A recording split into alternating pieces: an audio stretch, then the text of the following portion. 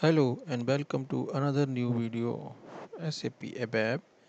In this video, we will create a method uh, by using transaction SE24. First of all, we have to give the method name and then the level of the method.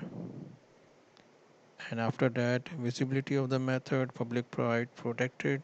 And lastly, we have to give the description of the method.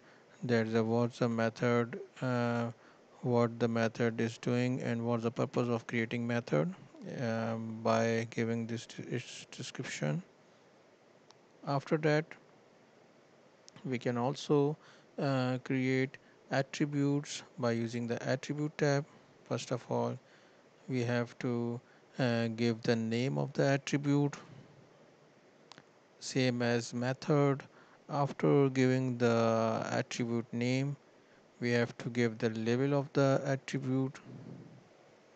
Either it is instance or uh, static attribute. We give here instance attribute.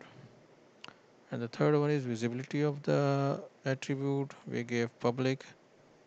After that we have to give the type what type and what type of data uh, it holds. So we give uh, the reference uh, field of our any table. And uh, finally uh, after that after giving the reference we have to save and activate the method